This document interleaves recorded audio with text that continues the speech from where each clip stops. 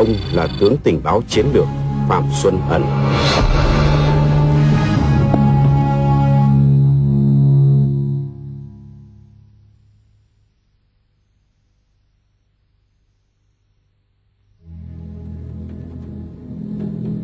Có nhà văn nào sẵn sàng bỏ ra 10 năm chỉ để biết về một nhân vật? Có, đó là bà Nguyễn Thị Ngọc Hải. 10 năm cho một cuốn sách 300 trang. Nhưng Phạm Xuân Ẩn, tên người như cuộc đời, là cuốn sách đầu tiên của Việt Nam về nhà tình báo chiến lược này. Sách đã đoạt giải A cuộc thi văn học vì an ninh tổ quốc và bình yên cuộc sống do Bộ Công an và Hội Nhà văn phối hợp tổ chức năm 2005 cái hình ảnh con người với tất cả cái cuộc đời của họ thật thì không có bảo tàng nào giữ được. Thế thì mình muốn làm một cái chốt đèn flash tức là mình biết rằng không thể nào biết hết được về ông này rất khó. Bởi vì thứ nhất là các cái tài liệu của mình là chưa có cho phép giải mật về mặt nghề nghiệp của ông. Thứ hai nữa là cái con người này thì lại rất là khiêm nhường và hầu như không bao giờ ông chịu ừ, ra với báo chí cả. Cho nên là mình mới lấy cái tiết là phạm xuân ẩn tên người như cuộc đời ông cũng, ông là một cái gì bí ẩn ghê lắm và đối với mỹ thì đối với tất cả các cái bạn mỹ các các phóng viên mỹ người ta cũng nói rằng ông là một sự bí ẩn. Bởi vì ông không bao giờ ông bộc lộ cả và cái cuộc đời của ông phải hoạt động chìm sâu vào trong những cái, cái, cái thách thức rất khó khăn cho nên tự nhiên nó trở thành một cái phẩm cách của ông. Ngay chính bản thân mỹ họ nói rằng là Mỹ không thắng được trong cuộc chiến tranh này là chính bởi vì văn hóa. Không hiểu văn hóa. Thế cho nên thế thì văn hóa của Việt Nam nó là cái gì? Văn hóa của Việt Nam nó rất là nhiều thứ, nhưng mà đấy là con người. Và cái chiều sâu của con người này chính là cái văn hóa ấy. Bởi vì các nhà văn Mỹ, các nhà báo Mỹ, người ta cũng giống như hai trong một người ta muốn hiểu được cái ông ẩn này thì người ta hiểu được thêm về cuộc chiến tranh.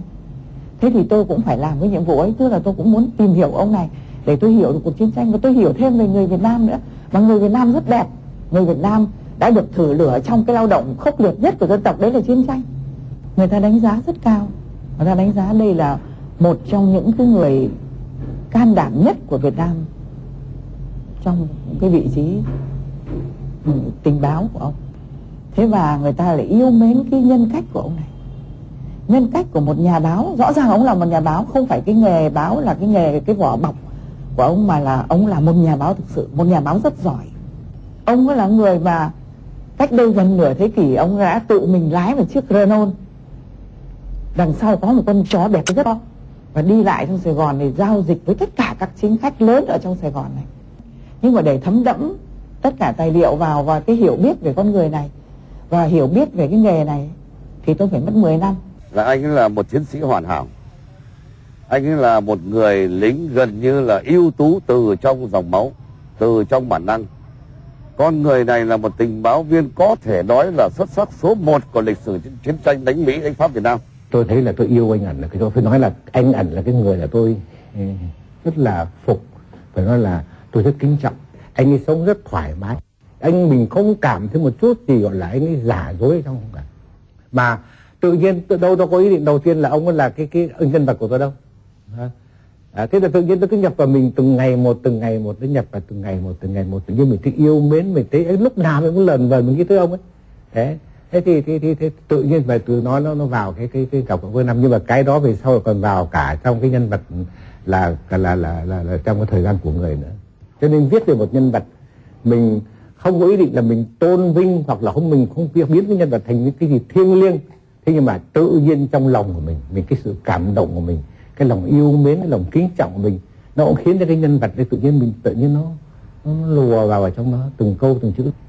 Chính quay ngẩn tôi nhìn cái xã hội ở trong này. Tôi nhìn nó bình tĩnh hơn. Bình tĩnh hơn và nó chuẩn xác mặc dầu là người trong quân đội nhưng mà tôi thấy có một thời gian ông ấy vắng mặt hẳn mình. Ông chỉ làm cái việc bên kia với bao nhiêu là hy vọng. À, với bao nhiêu là hy vọng với bao nhiêu niềm tin của người ta. Chứ cảm thời trai trẻ là ở sống trong vùng địch và làm việc ấy người ta phải có cái niềm tin và có hiểu rất lớn cho cái tương lai nước Việt do đảng mình lãnh đạo. Tôi không hiểu sao tôi gặp mình tôi rất xấu hổ là mình là mình nhà văn nhà báo là từ bé ở phía bên này thì tự nhiên sao bây giờ bên này mình trong độ này nó càng ngày nó càng tệ thế nhưng trang viết của mình đâu mình có đặt ra những cái chuyện như thế mình chưa tin liệu được mình chưa cảnh báo được mình chưa nói trước bất cứ cái điều gì cả và đặc biệt là hiện nay mình với cái ngòi bút của mình mình chưa lên tiếng gì cả Tôi tìm thấy ở ông ẩn là một con người rất thú vị. Một con người có thể nói rằng cùng một lúc có ba cuộc đời cùng tồn tại trong ông. Một cuộc đời dành cho Việt Nam tổ quốc ông. Một cuộc đời dành cho nước Mỹ. Và một cuộc đời nữa dành cho báo chí mà ông ưa thích.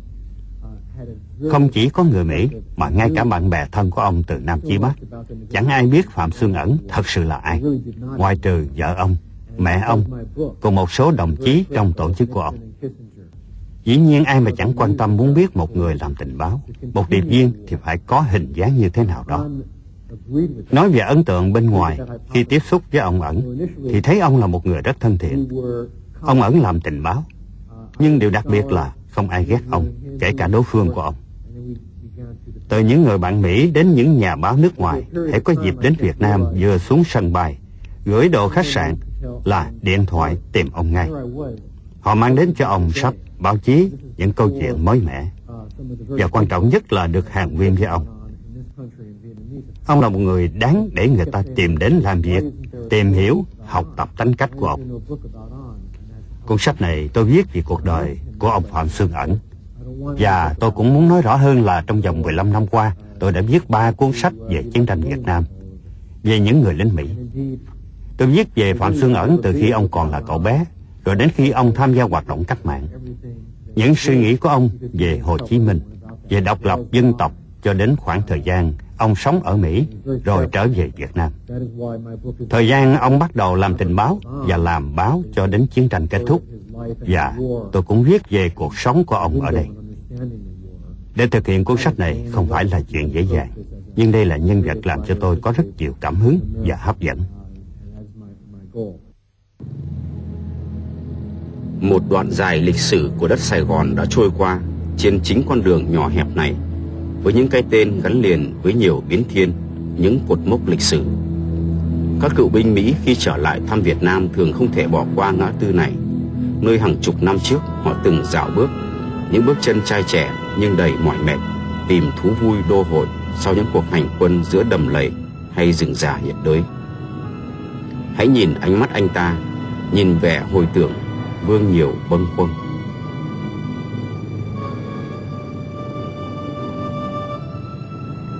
Tiệm cà phê này từng được mệnh danh là trung tâm báo chí Sài Gòn, nơi tụ tập nhiều ký giả và điệp viên đến mức người ta đồn rằng trong những chiếc cột của nó có chứa một hệ thống nghe lén tinh xảo.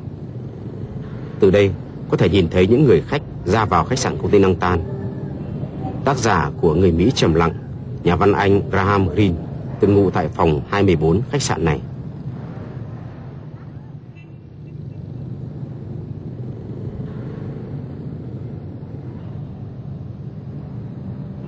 Xa hơn chút nữa, bên kia tòa nhà từng được sử dụng làm trụ sở Quốc hội chế độ Sài Gòn từ năm 1956 đến 1975 là khách sạn Caravan, cũng là nơi trú ngụ ưa thích của không ít yếu nhân, văn nghệ sĩ, nhà báo, quân nhân và cả các gián điệp Anh Pháp Mỹ.